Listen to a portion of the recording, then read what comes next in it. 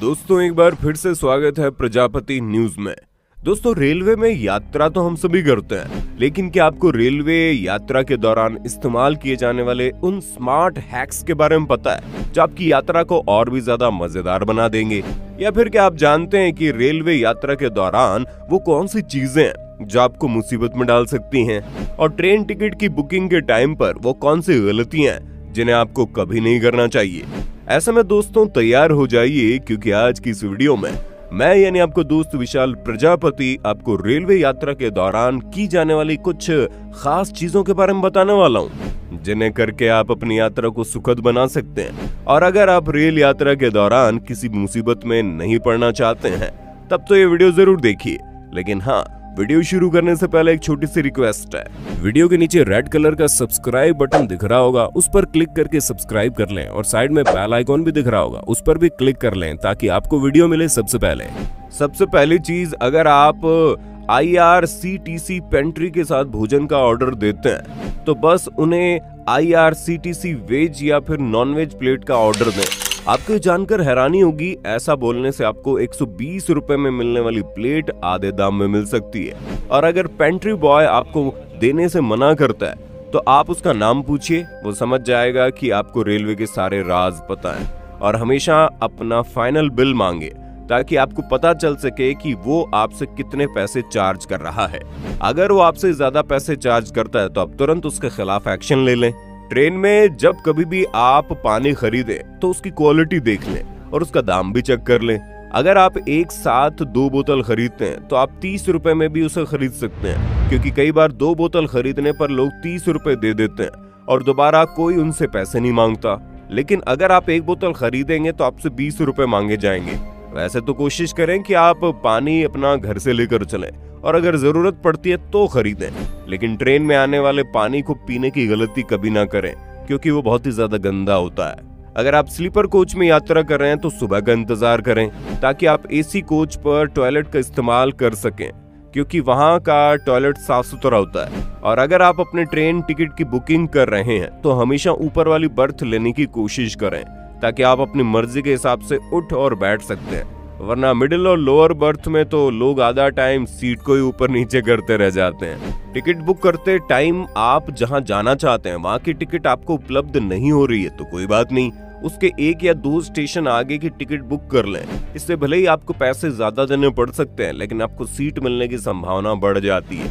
अगर आप ट्रेन में बैठ गए हैं तो ज़ाहिर सी बात है, आपको अपने एंटरटेनमेंट के लिए फ़ोन को चार्ज करने की ज़रूरत पड़ेगी। लेकिन फ़ोन को कभी भी डायरेक्ट चार्जिंग पर ना लगाएँ।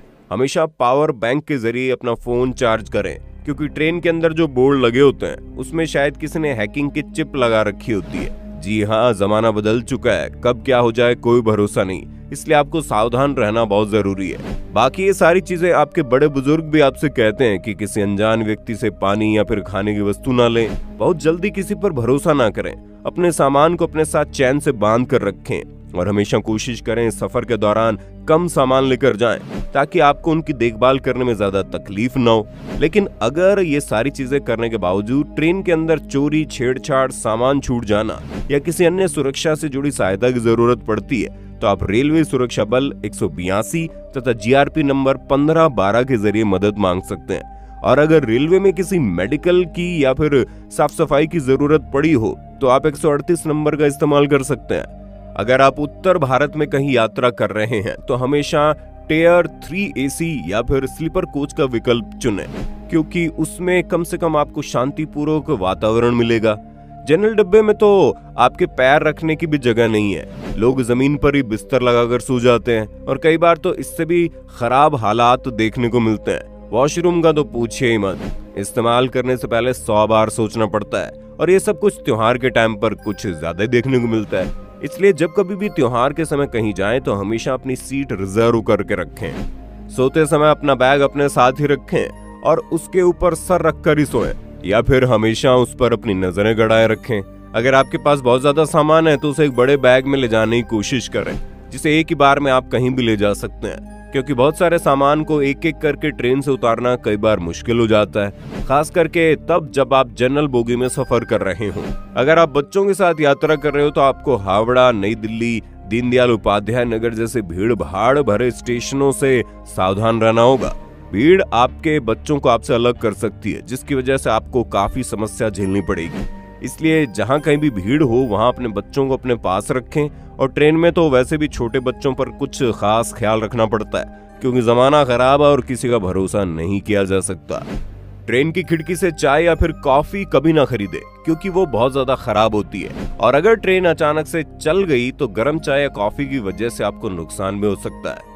यदि आप किसी के साथ अपनी सीटों का आदान प्रदान कर रहे हैं तो इससे पहले आप कारण पूछें। हो सकता है सीट खराब है या पड़ोसी अच्छा नहीं है, या फिर वो परिवार या दोस्त के साथ हो सकते हैं। इसलिए उनसे सीट की अदला बदली करने से पहले ये ज़रूर पूछ लें कि वो कौन से स्टेशन पर उतर रहे हैं, क्योंकि हो सकता है उस स्टेशन के बाद अगला मालिक सीट चाहता हो, और अगर आपने अपनी सीट दे दी और उसकी सीट पर जाकर सो गए तो जो नया सीट का मालिक होगा, वो आपको उठने के लिए कहेगा, जिससे आपकी नींद खराब हो जाएगी। इसलिए इस तरह के फैसले लेने से पहले काफ़ी सोच विचार लें। सोने से याद आया, जब ट्रेन आपकी फाइनल डेस्टिनेशन पर पहुँचने वाली हो तो उससे एक घंटा पहले उठकर बैठ जाएँ, ताकि आपका स्टेशन मिस ना हो। और हाँ ट्रेन में सफ़र के दौरान गलती से भी चैन पुलिंग ना करें। अगर आवश्यकता पड़ती है, तभी इसका इस्तेमाल करें। लेकिन किसी भी आलतू फालतू काम के लिए अगर आप ऐसा करेंगे तो पुलिस आपको जेल में भी बंद कर सकती है। और सबसे अहम बात, अगर आप ट्रेन में सफ़र कर रहे हैं तो बिना टिकट के कभी भी ट्रेन में सफ़र ना करें, वरना आप मुसीबत में पड़ सकते हैं। उम्मीद है वीडियो से आपको काफ़ी कुछ जानने को मिला होगा।